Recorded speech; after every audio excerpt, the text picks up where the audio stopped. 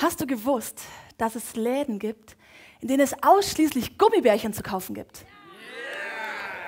Großartig. Ich weiß es erst seit zwei Wochen. Ich habe nicht gewusst, dass es Läden gibt, wo wirklich nur Süßigkeiten drin sind. Es sind Läden, das ist der Wahnsinn. Da gehst du rein und dann kommt dieser Duft ja schon. Ja, also ich habe hier die Chance, ich rieche es ja wirklich. Das Wasser läuft dir im Mund zusammen. Du freust dich über Bärendeko, denn PS, ja, es gibt Bärendeko, habe ich auch entdeckt in den letzten zwei Wochen. Und dann drehst du dich um und du bist völlig überfordert von den unglaublichen Möglichkeiten, die dieser Gummibärchenladen herausfordert. Äh, da haben wir natürlich die Marshmallows, ja, die kennt ja wohl wirklich jeder. Sehr lecker, auch beim Grillen jetzt hier im Winter. Da haben wir natürlich die Haribo-Tüten. Ja, man kommt nicht drum rum, die kennen ja nur wirklich alle. Also, wer hat die noch nicht gegessen? Lakritze, ähm, Fruchtzucker, eigentlich ist ja alles mit Zucker, das ist sehr lecker. Es gibt übrigens, habe ich entdeckt, auch Bio- und Wellnessprodukte. Habe ich mir aber gespart zu kaufen, weil die will hier eh keiner essen.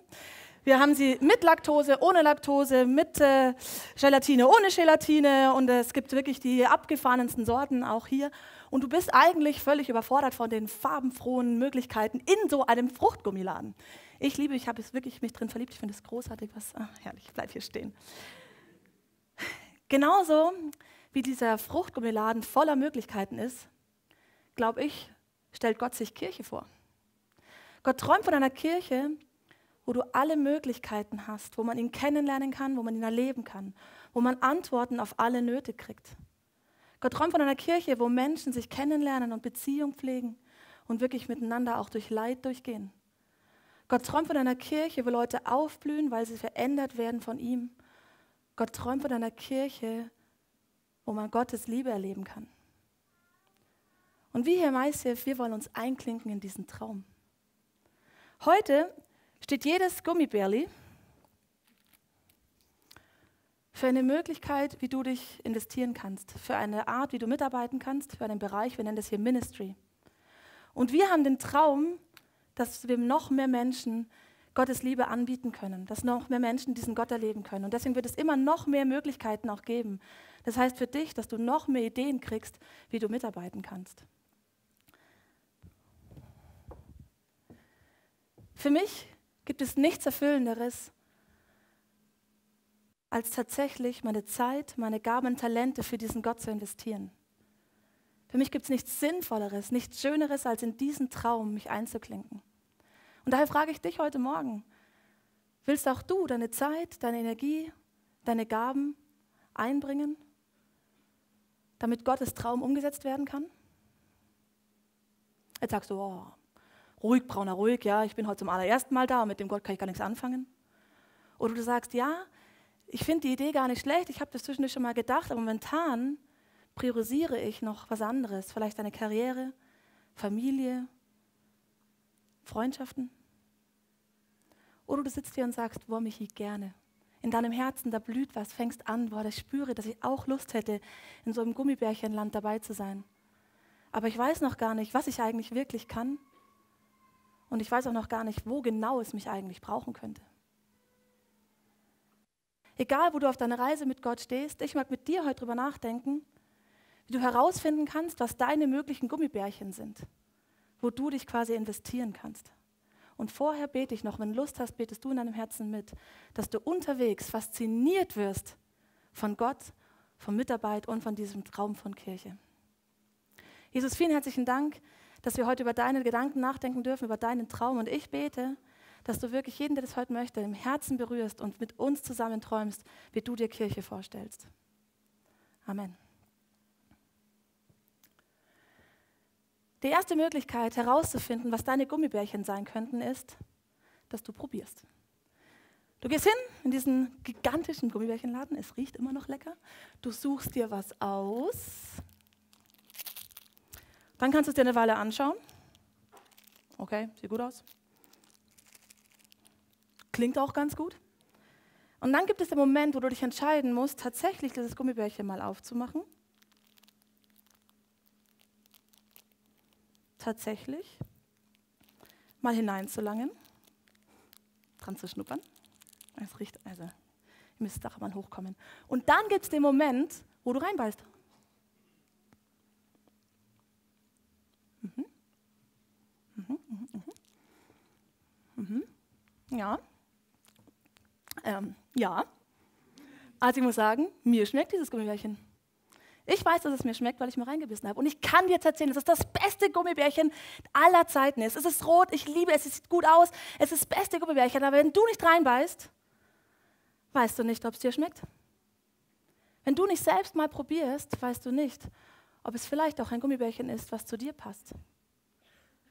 Wenn du immer nur von außen in diesen Laden reinguckst und nie wirklich reingehst, wirst du nicht wissen, ob er dir gefällt. Und wenn du niemals ein Gummibärchen wirklich in die Hand nimmst, dein Ministry wirklich anguckst, wirst du nicht wissen, ob das Ministry was für dich ist. Ich weiß nicht, was dich zurückhält. Vielleicht kennst du diesen Laden hier noch nicht. Dann probier dich aus und probier aus, ob es was für dich ist, ob ICF eine Kirche für dich sein kann. Mach den Vision Day, mach die Schnupperzeit, schau hinter die Kulissen, geh in Ministries rein, guck, ob dir der Laden hier gefällt. Und dann kannst du dich entscheiden, ob das dein Laden wird. Vielleicht hast du auch einfach Angst.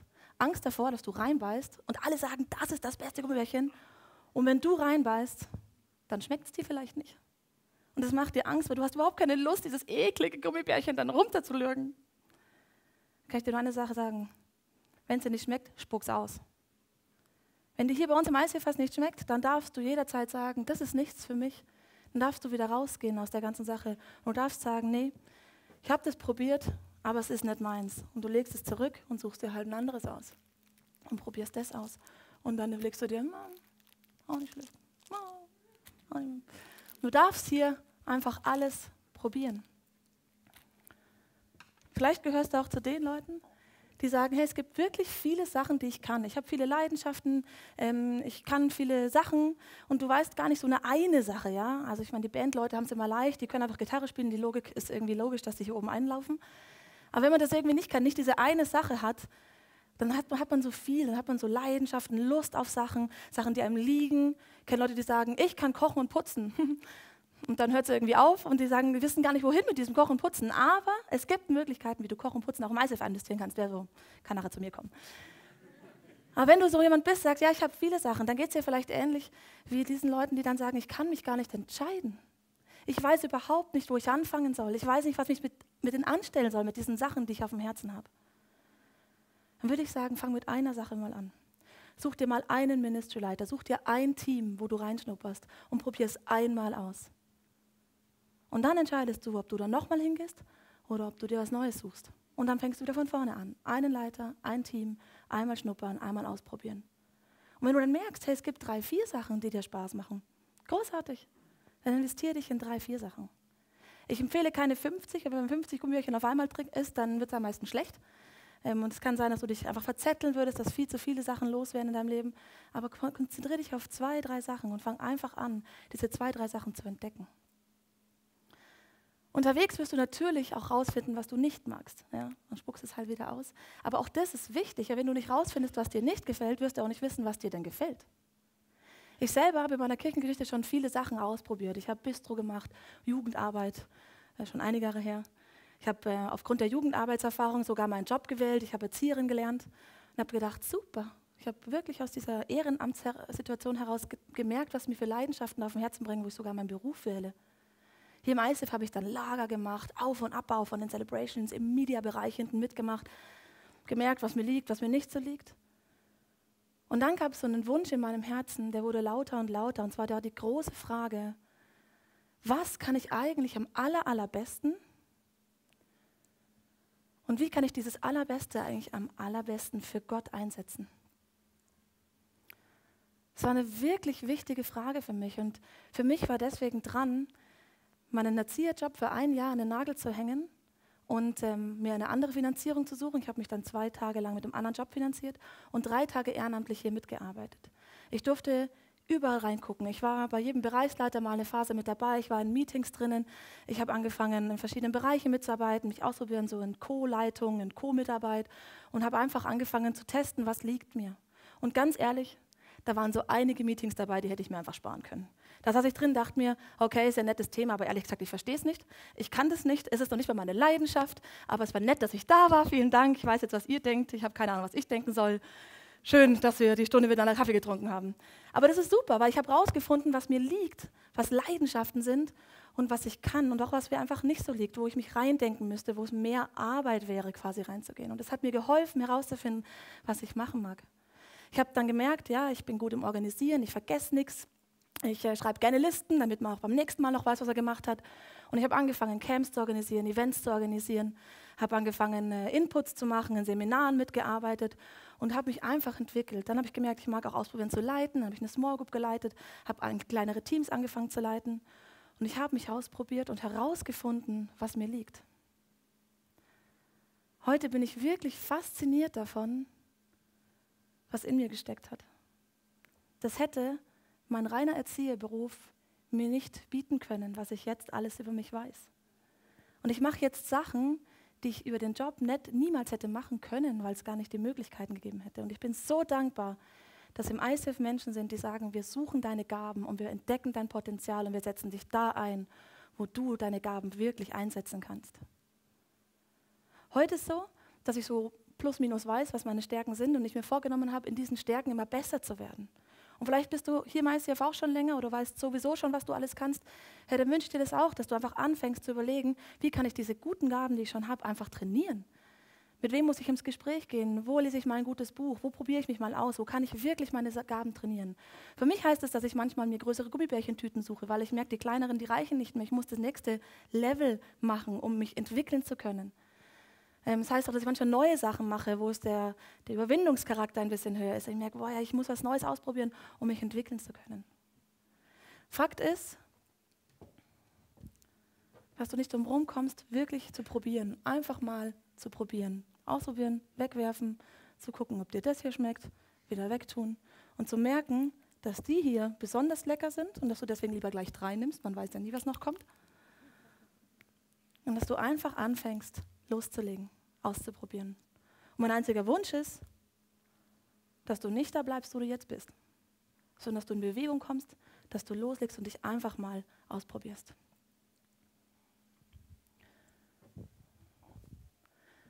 Eine zweite Möglichkeit herauszufinden, was zu, welche Gummibärchen zu dir passen, ist, dass du weißt, was eigentlich alles möglich ist. In diesem Gummibärchenladen, habe ich vorhin gesagt, gibt es die Klassiker. Die Klassiker sind ja nur eindeutig Haribo, Marshmallows, Lakritze. Die sind dick, die sind groß, die sieht man, die man, die sind promoted. Und das sind die, die irgendwie offensichtlich sind. Aber manchmal muss man ein bisschen suchen.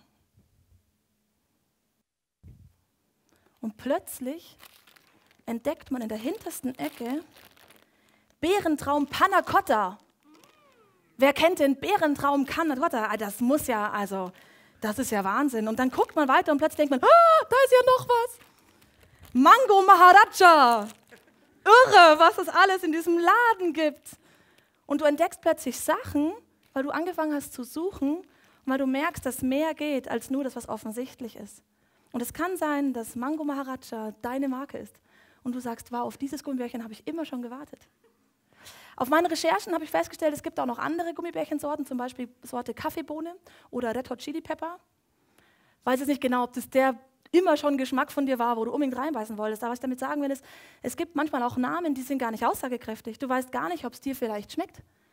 Vielleicht denkst du, oh, das klingt komisch oder ich will da gar nicht reinbeißen. Aber es könnte sein, wenn du es ausprobierst, dass es was ist, wo du nachher sagst, wo hätte ich das mal früher probiert. ICF haben wir auch einen Klassiker. Etwas, was Großes, was man kennt. Das ist die Celebration. Das ist das, was du siehst. Du kommst sonntags und du siehst Ton, Licht, Media, eine Band, du siehst die Welcomer, die Bistro-Leute und du weißt, okay, das ist es. Da siehst du, was los ist. Und jetzt denkst du dir, okay, ich kann das nicht, vielleicht hast du auch keine Lust, im schlimmsten Fall denkst du sogar, hier braucht man mich nicht, was nicht stimmt. Weil bloß weil es Licht gibt, heißt das nicht, dass das Licht ein großes Team wäre. Und du denkst, okay, ich bin raus, hier braucht mich nicht, hier brauche ich nicht mitarbeiten. Aber ich verrate dir was. Die Celebration ist nur die Spitze eines riesigen Eisbergs. Hier im ICF versuchen wir wirklich viele, viele Angebote zu schaffen, damit Menschen Gott erleben können. Und das, was du hier siehst, ist nur die Spitze eines Eisbergs. Ich habe mit einer jungen Frau geredet, hat mir erzählt, dass sie gerade überlegt, ähm, sich jobmäßig umzuorientieren. Und dann sagt sie, ja, sie hat ja voll Spaß an Promotion, an Marketing. Wenn sie ein Plakat sieht, dann sieht sie sofort, ist das eine gute Farbe, ist das interessant. Wenn sie einen Film sieht, überlegt sie sich sofort, welche Zielgruppe erreicht dieser Film und ähm, ist der Slogan eigentlich gut. Und sie denkt voll gern darüber nach, ob Leute gute Marketingstrategien haben. Dann sage ich zu ihr, hey, du weißt aber schon, dass wir solche Leute hier im ISF auch brauchen können, weil auch wir machen Marketing für jedes Event, was wir machen, aber auch diese Kirche wollen wir noch mehr in die Stadt reinbringen. Dann guckt sie mich an und sagt, echt? Sowas braucht ihr hier ICF? Das gibt es in der Kirche? Ja, die Celebration ist nur die Spitze eines Eisbergs. Ich selber mache seit zwei, drei Monaten ähm, Internetkirche. Ich bin Leiterin dieses Projekts. Ominöses Wort, was drinsteckt, ist einfach, dass wir versuchen, alles, was es hier zum Anfassen gibt, ins Internet zu übertragen, damit Leute, egal wo sie sind, diesen Gott erleben können. Wir überlegen also gerade inhaltliche Sachen ähm, ins Internet zu kriegen, Livestream, die Celebration live mit angucken, Online-Seminare, äh, wo wir Videos aufnehmen und ähm, Material produzieren, Bücher produzieren, damit Leute übers Internet das Seminar besuchen können. Kleine Kurzfilme, um zu jedem Thema eine Info zu kriegen. Wir überlegen gerade, wie wir Gemeinschaft im Internet machen können wie Leute, egal wo sie sind, eine Small Group starten, ob Small Group möglich ist, quasi virtuell über Facebook oder über Chats, damit Leute noch nicht mal in der gleichen Stadt sein müssen, um eine Small Group zu haben. Wir überlegen, wie Leute ähm, über Gebet Angebote bekommen können über, äh, oder über Gespräche, dass Leute, egal wo sie sind, sagen können, ich habe Interesse an einem Gespräch, mich beschäftigen voll viele Fragen und sie können übers Internet Leute kennenlernen, die mit ihnen einfach ins Gespräch gehen. Diese Plattform birgt viele, viele Mitarbeitsmöglichkeiten, die nicht offensichtlich sind. Das sind Programmierer, das sind Designer, das ist eine Seitenstruktur festlegen, sieht es gut aus, wie klickt man sich schnell und logisch durch. Das sind Leute, die zu Hause sitzen und sagen, geil, ich bin einfach nur da und investiere mich für Leute, die Interesse an einem Gespräch haben oder an Gebet haben. Vielleicht Mamas, die einfach nicht so viel raus können. Und es birgt Möglichkeiten, wo du dich investieren könntest. Denn was du hier siehst, ist einfach nur die Spitze eines Eisbergs. Aber wir haben in dieser Kirche noch viel, viel mehr. Und ich mag dir gerade mal vorstellen, was wir noch alles so haben.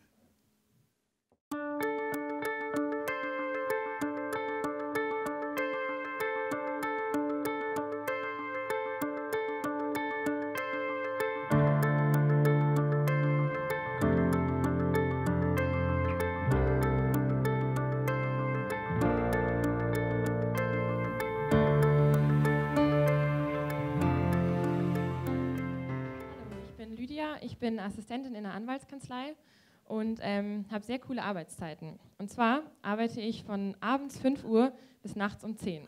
Juhu! ähm, nee, ganz im Ernst, es ist echt eine coole Arbeitszeit, weil ich den ganzen Tag Zeit habe. Und ähm, vor zwei Jahren habe ich mich entschieden, meine Vormittage ins ICF zu investieren und konnte da einiges machen. Ich, ähm, eine meiner Leidenschaften ist es, E-Mails. E-Mails zu schreiben, E-Mails zu bekommen. Ich liebe es einfach. Ich habe dann ähm, den Anmeldeprozess von Seminaren übernommen. Ich habe ähm, alle Anmeldungen von den meisten Seminaren bekommen, habe sie beantwortet, noch eine persönliche Notiz dazu geschrieben, was weitergeleitet, war mit den Seminarleitern in Kontakt, habe die immer abgedatet, wie ihr Seminar so aussieht. Es hat einfach Spaß gemacht. Dann ähm, war ich im Newcomer Ministry. Das Newcomer Ministry ist zuständig für alle, die die Schnupperzeit hinter sich gebracht haben. Und ähm, wir haben in regelmäßigen Abständen die Leute angerufen, die noch kein Ministry oder keine Small Group haben und habe einfach nachgefragt, hey, wie geht's euch? Wo steht ihr gerade? Wie kann ich euch helfen? Wie könnt ihr euch wohlfühlen? Wo könnt ihr euch kennenlernen? Und das war echt eine coole Zeit, weil ich ähm, viele Leute kennenlernen durfte, weil ich mitbekommen habe, wie sie sich entwickeln, wie sie sich ausprobieren, ja, wie sie, wie sie ihren Weg einfach gehen. Das war echt toll. Und dann ich, ähm, war ich auch Assistentin vom Tobi und vom Thorsten und da konnte ich auch total viel unterschiedliche Sachen kennenlernen. Ich habe ähm, Events organisiert, ich habe ähm, die Terminplanung übernommen, ich habe auch neue Sachen kennengelernt, zum Beispiel Social Media, also wie benutze ich Facebook, wie benutze ich Twitter, wie binde ich ein YouTube-Video in einen Blog ein? Und so Sachen, so technisches Zeugs, was ich mich vorher nie zugetraut hätte. Echt cool. Und habe zum Beispiel auch Predigten abgetippt von anderen Pastoren zur Recherche. Genau, und neben all dem, dass es mega Spaß gemacht hat, war das, was für mich dabei rausgekommen ist, dass ich mich und Gott echt immer mehr kennengelernt habe. Ich habe herausgefunden, hey, was sind meine Stärken, was kann ich, wie kann ich die einsetzen in der Kirche, wie kann ich Menschen dienen, aber auch, hey, wo sind meine Schwächen und wie kann ich mich denen stellen, wie kann ich das ausprobieren. Und was ich gelernt habe hier im ICF, wofür ich mega dankbar bin, ist, sich einfach zu trauen. Dann macht man halt mal einen Fehler, aber man muss einfach losgehen und sich trauen und das nehme ich mit. Hi, ich bin Sebi. Ich bin Lektor in einem Buchverlag und ich bin Grafikdesigner. Und das sind zwei Leidenschaften und zwei Berufe, die einiges an Zeit schlucken können. Als ich hier vor knapp drei Jahren ins ICF gekommen bin, habe ich solche Screens gesehen, habe die Musik gehört und dachte, wow, das ist meine Kirche, hier will ich sein. Und habe angefangen, im Designministry mitzuarbeiten und in dieser Zeit ähm, kam es aber mehr und mehr dazu, dass die Zeit für die Arbeit und die Zeit im Designteam mich angefangen haben, irgendwie wie aufzufressen. Es war, ich wollte in beiden voll Gas geben, aber es war einfach, die Tage waren zu kurz. Irgendwann bin ich zu Gott hingegangen und habe gesagt, ja, was, was soll das? Was willst du mit mir anfangen? Soll ich eins aufhören? Aber ich möchte keins aufhören, ich möchte auch bei keinem kürzer treten. Wie, wie kann das gehen? Und er hat mir dann ein, zwei Ideen gegeben und ich bin schließlich zu Bastian Tobi hingegangen und habe sie gefragt, sag mal, habt ihr eigentlich schon mal darüber nachgedacht, ein Buch zu schreiben? Tobi guckte mich an und meinte, interessant, dass du fragst, genau das wollen wir gerade tun. Und äh, hast du nicht Lust, dabei zu sein? Und auf einmal macht es wie Klick und jetzt bin ich in äh, einem Bereich dabei, dass wir jetzt ähm, sozusagen das erste Buch hier aus dem ICF München heraus entwickeln entwickeln. Und ich kann es als Lektor, als Designer, als quasi Projektleiter mit begleiten. Und es, auf einmal ist es wie wenn zwei riesige Zahnräder plötzlich ineinander greifen und Gott zu mir sagt, du musst dich nicht auf zwei Schlachtfeldern totrennen, sondern das muss sich nicht beißen, sondern du kannst in beiden durchstarten, weil es gibt hier dieses eine Projekt, wo ich das beides genau gebrauchen kann. Und das war so eine Horizonterweiterung für mich, für die ich unendlich dankbar bin. Und ich kann es kaum erwarten, was noch alles kommt. Das wird sicherlich nur das erste Buch von vielen sein. Und ich bin einfach gespannt, wie es weitergeht. Es gibt nichts, was es nicht gibt. Was du hier siehst, ist nur die Spitze des Eisbergs. Und das Schöne ist, du musst nicht den ganzen Laden kaufen. Du kannst erst mal mit einem Teil anfangen und dann entscheidest du dich, hast du Bock auf jeden Tag Gummibärchen essen, auf einmal in der Woche oder auf einmal im Monat. Du entscheidest, wie viel Zeit du investieren kannst und magst und wir werden herausfinden, was dein Platz sein kann. Mein einziger Wunsch ist wieder nur, bleib nicht da, wo du jetzt bist, sondern fang an, dich zu bewegen. Fang an zu suchen, was im Eishilf eine Möglichkeit ist und du darfst nochmal wirklich groß spinnen, auf was du gerade Lust hättest. Die dritte Sache, ähm, wie du herausfinden kannst, welches Gummibärchen zu dir passt, ist, dass du rausfindest, was Gottes Idee über Mitarbeit ist. Hast du schon mal darüber nachgedacht, dass Gummibärchen ein Verfallsdatum haben? Wahrscheinlich nicht, weil meistens landen die vorher im Mund. Aber ja, Gummibärchen haben ein Verfallsdatum. Und würde das Verfallsdatum mal überschritten werden, würdest du es wahrscheinlich wegwerfen oder zumindest einfach nicht mehr essen. Im christlichen Bereich, in Kirchen kriege ich selber mit, wie Leute manchmal sehr lange in Bereichen sind, ohne zu überlegen, sind sie da eigentlich noch richtig? Ist es wirklich noch dran? Ich selber habe in meiner alten Kirche über längeren Zeit einen Bereich gemacht und ich bin nicht mehr aufgeblüht. Die Leute um mich herum sind nicht aufgeblüht, das Team ist geschrumpft. Ähm, und es war eigentlich mehr ein Geziehe und anstrengend, als dass es irgendwie Frucht gebracht hätte. Und trotzdem bin ich da geblieben. Und ich kann nur für mich reden, aber vielleicht kennst du es. Es ist so eine gesetzliche Art von Treue. Man muss da irgendwie bleiben. Ohne mich bricht der Laden zusammen. Man darf nicht einfach gehen. Was denken die anderen? Die sind dann sauer, enttäuscht. Und man spürt nicht so eine Freiheit, dass man einfach gehen kann, um was Neues auszuprobieren, wo man aufblühen könnte, sondern man bleibt da. Ich will damit nicht sagen, dass immer wenn es eng wird, du sofort wegrennst und sagst, oh, ich will aber hier, das ist mir zu anstrengend. Weil dann wirst du zu einem Kirchenhopper oder zu einem Ministry-Hopper, der nie seine Gaben wirklich entfaltet, weil er eigentlich nie die Zeit lässt, dass es eine Entwicklung gibt. Ich will damit auch nicht sagen, dass Ministry ein reiner Verwirklichungstrip ist, wo es immer nur darum geht, dass ich das Schönste habe und alles für mich super ist. Nein, im Gegenteil, Gummibärchen kosten Geld. Wenn du ein Gummibärchen haben musst, haben willst, dann musst du es kaufen. Und ja, wenn du mitarbeitest, wird es dich ein bisschen was kosten. Vermutlich Zeit, deine Gaben, manchmal auch ein paar Nerven, vielleicht auch mal eine durchgemachte Nacht. Und ja, es gibt immer 20 Prozent, die nicht so cool sind. Die hat man in jedem Job, an deinem eigenen wahrscheinlich auch. Aber die anderen 80 Prozent, für die lohnt es sich, weil die blüht man auf und da lebt man plötzlich, was es heißt, wenn man sich einbringt in diesen Traum. Und ich will dich nur hinterfragen, warum machst du das, was du gerade machst? Und warum bist du dort, wo du gerade bist? Wir im ICF, mindestens die Hauptamtlichen, prüfen mal einmal im Jahr, ob es weiterhin dran ist, das zu machen, was wir gerade machen. Und mir hilft es. Ein Jahr heißt für mich, es ist überschaubar.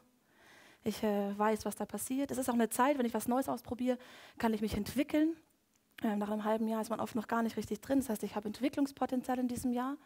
Mir hilft es auch, oder der Kirche hilft es auch, weil man weiß, wie stabil ist die Kirche, wer ist denn alles wirklich an Bord für das nächste Jahr. Und mir hilft es auch, weil es mich entspannt. Weil ich weiß, nach einem Jahr darf ich mich einfach neu entscheiden. Und ich darf nach einem Jahr ein neues Go von diesem Gott abholen. Ist es wirklich noch dran? Ja? Cool. Und dann weiterrennen. Und in den letzten Jahren habe ich das jedes Jahr wieder neu irgendwie auch geguckt, was ist dran, ist es wirklich auch noch dran, diesen Job so zu machen. Und es gibt Dinge, die mache ich seit Jahren immer wieder, weil ich alle Jahre wieder auch das Go dafür kriege. Und es gibt Dinge, da merke ich, hey, Leute sind einfach viel besser und ich gebe sie ab, weil es Leute gibt, die es viel besser können als ich. Oder wo ich merke, hey, das ist echt was, das ist nicht gut, wenn ich es mache, weil ich wirklich eingehe, weil es was ist, wo ich dran leide. Und dann darf ich mit den Leuten reden und sagen, ja, auch hier müssen wir eine Lösung finden. Das heißt nicht, dass ich es hinrotze und sage, so, nach mir die Sintflut, macht es, wie ihr wollt, sondern dass man gute Übergangslösungen findet. Aber das Tolle ist, dass ich die Freiheit habe, alle Jahre wieder zu entscheiden, was ist dran. Und auch mir wirklich von Gott abholen kann. Wie siehst du die Lage der Nation? Bleibe ich?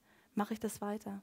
Und vielleicht gehörst du zu denen, die einfach über Jahre hinweg immer wieder ein Ja für das kriegen, was sie gerade machen. Dann vielen Dank und bitte mach einfach Vollgas weiter. Lass dich nicht verunsichern, sondern sei dran, hol dir das grüne Licht von Gott ab und flitz los. Ein anderer Gedanke, in dem mich einfach beschäftigt in diesem Zusammenhang, ähm, ist ein Wort aus dem christlichen Wörterbuch. Je nach Prägung ist es sehr unterschiedlich besetzt und ähm, ich mag mit dir kurz drüber nachdenken. Und zwar ist das Wort Berufung. Vielleicht hast du schon mal gehört, ich sag dir mal, was ich damit früher verbunden habe. Und zwar ist Berufung der eine Weg, die, das eine Ziel von Gott, Gottes einziger Plan für dein und mein Leben. Es gibt nur eine richtiges und alles andere ist irgendwie falsch. Wenn du deine Berufung nachgehst, dann muss Gott vorher wirklich ein Zeichen setzen, der muss mit dir gesprochen haben, damit du wirklich sicher sein kannst, dass das jetzt Gott war. Und wenn du deinen Schritt machst, gibt es Leute, die dann sagen, bist du dir wirklich ganz sicher, dass das jetzt wirklich deine Berufung ist? Du musst große, große Sicherheit haben darin, dass es wirklich jetzt passt. Ich weiß nicht, ob du diese Prägung auch hast. Ich dir, was in mir ausgelöst hat. Für mich war dann was limitierend. Weil ganz ehrlich, bevor ich einen falschen Schritt mache, mache ich lieber gar keinen dann probiere ich nicht aus, sondern bleibe ich einfach stehen und, und, und warte, bis das große Zeichen kommt und dann hoffe ich, dass ich den einen Weg finde und dass das dann irgendwie eine gute Idee ist. Und die Konsequenz war, dass ich einfach stehen geblieben bin und mich nicht getraut habe. Aber dieses Bild von Berufung, es ist doch so, als würdest du im Akt des Kaufens und dich Entscheidens alle anderen Sachen sich auflösen. Und jetzt hast du nur noch dieses Gummibärchen Blöd, wenn es das Falsche war. Aber das ist doch nicht so, oder? In dem Laden hat es doch trotzdem noch alle Varianten, alle Möglichkeiten. Und du kannst doch weiterhin sagen, okay, es war ein Schritt, ich habe gemerkt, der passt nicht, suche ich mir halt das nächste Gummibärchen aus.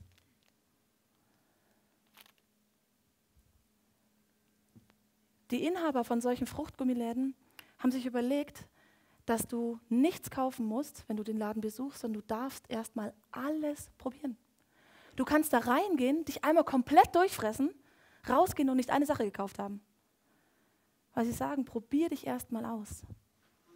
Und wenn Gott der Inhaber dieser Kirche ist, dann glaube ich an das gleiche Herz. Dann glaube ich, dass Gott sagt, komm, geh rein und probier einfach nur aus. Kein Mensch sagt, dass du dich auf einmal, auf ewig und lebenslang committen musst auf diese eine Sache.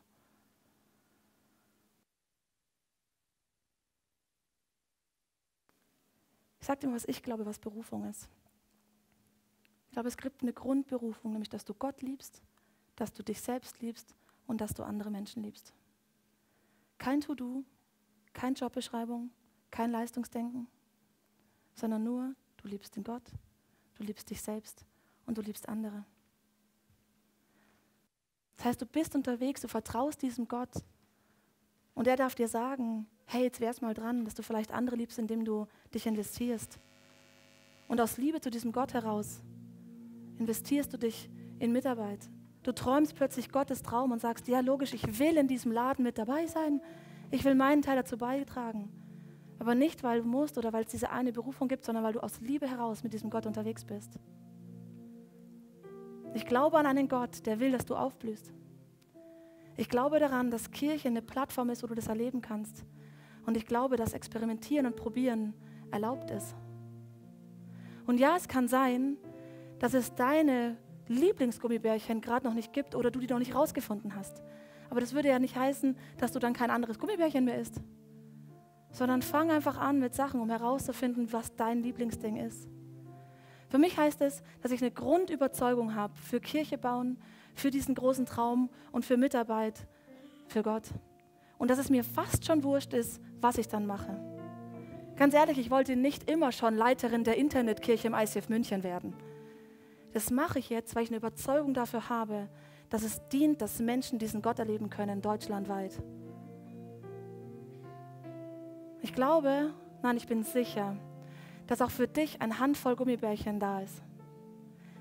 Ich weiß, dass du Gaben hast, dass du Talent hast und dass du Zeit hast. Und ich weiß ganz, ganz sicher, dass du gebraucht wirst. Und vielleicht ist es auch für dich dran, heute Morgen eine Grundsatzentscheidung zu treffen. Wenn du Gott noch nicht kennst, ist die Frage, vielleicht ist es dran, dich aufzumachen, diesen Gott kennenzulernen und zu gucken, ob dir dieser Gott auch gefällt. Vielleicht ist es dran für dich zu sagen, ich muss erstmal den Laden kennenlernen. Und vielleicht ist es dran zu sagen, ja, ich bin schon dabei und ich habe diese Herzenseinstellung. Und ich entscheide mich heute, meine Zeit, meine Gaben und meine Talente einzusetzen, damit Gottes Traum umgesetzt wird. Und du machst dich neu auf die Suche, was es in deinem Fall bedeutet. Ich lasse dich kurz allein und du kannst überlegen, was für dich heute dran ist oder was für dich auch der nächste Schritt sein könnte. Und ich komme dann nochmal und dann bete ich für dich.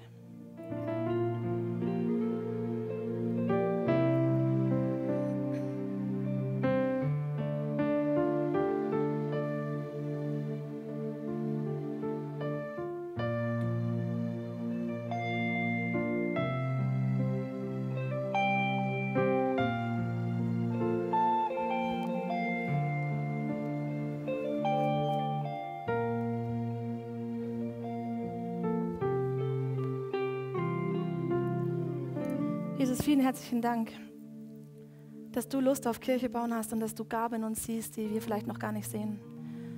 Und ich schmeiße jetzt all die Lügen raus, dass es mich nicht braucht, dass ich nichts kann und dass ich nicht richtig bin an dem Ort, wo ich gerade bin. Und ich segne dich, wie du hier sitzt, mit der Gewissheit, dass du ein toller Mensch bist, mit wahnsinnigen Gaben, mit Stärken, mit Ressourcen, die nur du hast, die einmalig sind bei dir. Und dass du weißt, dass du gebraucht wirst und dass Gott sich freut und du dich einklingst in diesen Traum. Und ich bete, Jesus, für alle, die es gerade wollen, dass wenn sie sich auf die Suche machen, dass du ihnen hilfst, in der nächsten Zeit herauszufinden, was ihre Gummibärchen sein können. Ich bete, dass du wirklich die richtigen Leute zur richtigen Zeit schickst, dass es die Momente gibt, wo was einrastet wie beim Sebi, wo man sich ausprobiert, wo man einfach merkt, boah, ja genau, das ist jetzt schön, da wollte ich hin und das ist was Erfüllendes. Und ich bete wirklich darum, dass dieser Weg, den Leute jetzt anfangen zu gehen, dass du den segnest und dass du ihnen zeigst, was dran ist. Amen.